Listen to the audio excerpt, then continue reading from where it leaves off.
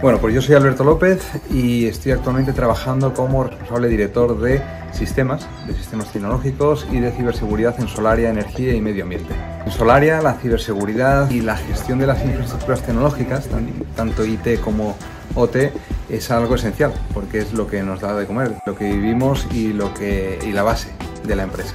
Teniendo en cuenta que cada día que pasa en el mercado a nivel global hay más datos, más información y más infraestructura, la ciberseguridad es algo esencial en todas estas facetas.